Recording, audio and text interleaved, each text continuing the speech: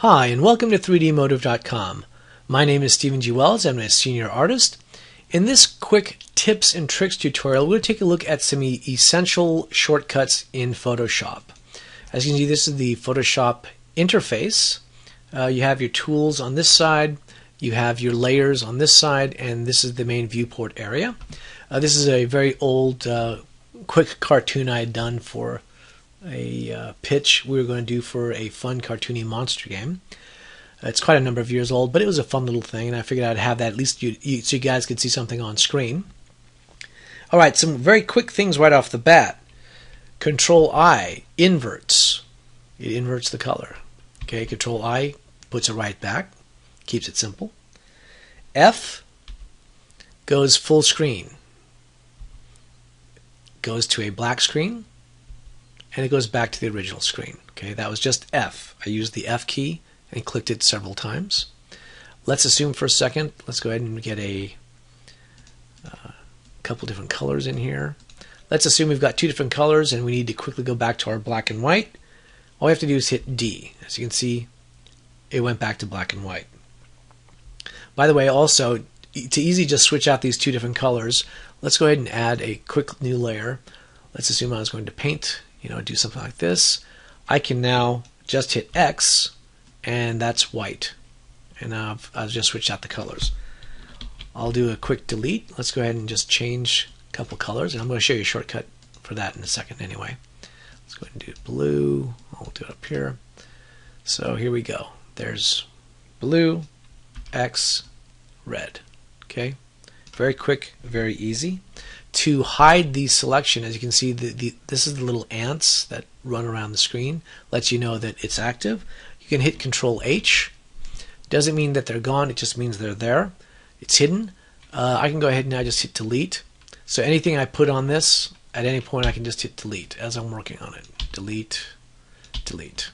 Okay, you can actually leave that going if you want. It's really up to you. You don't have to, but I like to. I like to be able to. Okay, uh, you can zoom in a couple different ways. You can use your control plus, and I can zoom all the way in, or control minus, and that zooms out. If we zoom it in a little bit, let's say we get it off screen, you can hold your space bar, and when I hold the space bar, you see I get the, the hand. That allows me to now pan this around. Now the nice thing is with this is let's go ahead and do a control minus and then we'll go back to pan. I'm holding the space bar. You can actually space bar right off, almost completely off the, the edge. So it really comes in handy. It allows you to move it where you need to. I'm just left clicking and holding this. Okay, it's very simple, very easy. Comes in handy. Um, in fact, I use this quite a lot when I'm. I, I'll zoom in. You know, Control plus. I'll zoom in on that, and then you know maybe I'll sample. By the way, sampling a color is just hold down your Alt key see the little uh, eyedrop picker?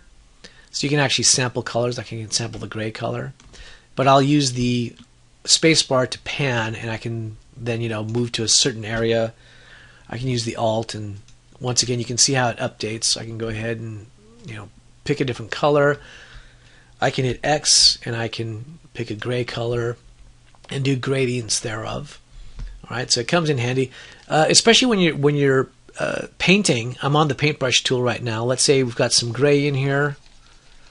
Okay, and right now the flow and opacity is 100%. If we change the flow down to say 50, and we hit X, the black doesn't come in at 100%. You'll see that. I actually have to really work that in there to do it. And of course, as I press harder and harder, it goes blacker and blacker. But again, the nice thing is, is I can sample any mixture of that as I'm working it, any blurring on that, and get different colors right there on the fly. Comes in very handy, and it's one of those things that, that I like to use quite a lot actually. And obviously, if you want to save this, the easiest shortcut is Control S, which is save. And you'll get a dialog box. You know, what do you want to call this? You know, it'll go to where you want to navigate it to, things like that. So you can obviously save it that way. If you're saving artwork or saving a JPEG for the web, of course, a Control Alt uh, Shift. Hold on. Shift S. I'm sorry. Yep. There we go. You have to hit all four of them at the same time. It's Control Alt Shift S. And this is where you can turn around and drop the byte size. As you can see right here on this dialog box right now, the document is 933K. If I save it for the web as it is, I can knock it down to 71K. So that's quite a savings. Okay, so again, that's Control Alt Shift S. Okay, that brings it up for saving for the web and for devices of that nature. Okay, just so you've got that. Now, there are some times when you're working, especially with layers, when you might want to duplicate the layer and move it around or just duplicate it to, to change how uh, the opacity on this if you want. Control J does that. Let's see. Oops. Control J. There we go. So I have to make sure, I, have I actually have to stretch my fingers a little bit with my particular keyboard. But as you can see, it just made a copy of that layer. As you can see, it's layer one copy. You know, not sure that we necessarily need something like that. And just, you, by the way, to just, you can uh, delete by just clicking on the delete key. I'm going to do Control Z to undo that, or you can just click, left click, hold, and drag and drop to your trash can. So either way, it works really easily for deleting layers. There'll be other times when you're working in layers when you want to just fill the entire layer with a quick color. I did a quick uh, new layer here, and that's Shift Backspace. You'll get a uh, little dialog box that'll say, okay, do you want to fill it with the foreground color? You want to fill it with the background color? You can click a color picker and you can then select you know whatever color you want here, for instance. You can have different modes for the different layers. You can do normal, dissolves. I'll show you real quick. Let's go ahead and do a, a green one. We'll do color. We'll do it for green.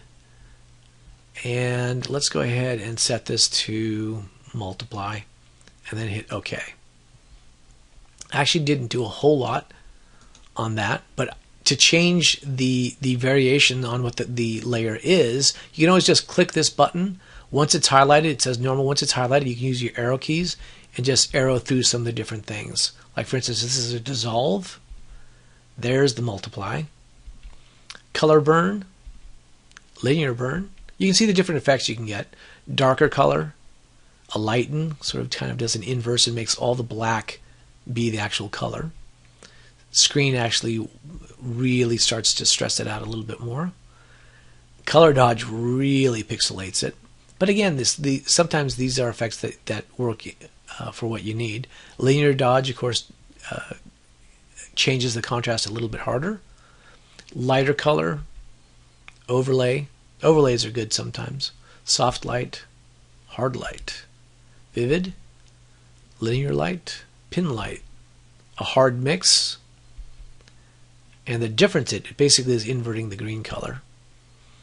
Exclusion, subtraction, it's inverted the color completely. This is the actual opposite of, of green. And then divide kind of just splits it. The hue gives it a nice like a it's almost a grayscale. It almost looks like. And saturation is where it really takes the that that black and white drawing isn't technically a black and white. It's an RGB drawing just with black and white. And the saturation has really oomphed it up to the nth degree. This is sort of some of the color you can actually get out of it. Okay, so there you go. You can just change things on the fly with your arrow key as long as you've got that. Again, with this particular layer, we can just hit delete. If we want to just delete it, or we can hit the delete layer too. Okay, very easy, very simple. Also, now some people uh, I know uh, when I'm working on things, you know, you have the the circle. Um, you know, but some people kind of don't like the circle. They they look like the crosshairs more when they're working on such. Uh, it's really one of those that it's kind of six of one, half dozen of, of another. But in order to be able to get this, all you have to do is use your cap locks. That allows you to change. When you do the cap locks, when they're on, you have a crosshair. When it's off, you have the regular circle. And there you have it for just some quick, simple um, shortcuts, but essential ones in Photoshop, especially if you're going to be doing a lot of uh, uh, painting and such in Photoshop. Those are some really good ones to have, and they're ones I use a lot of, so I hope you guys will too. Anyway, my name is Stephen G. Wells, and this has been 3dmotive.com, and thanks for watching.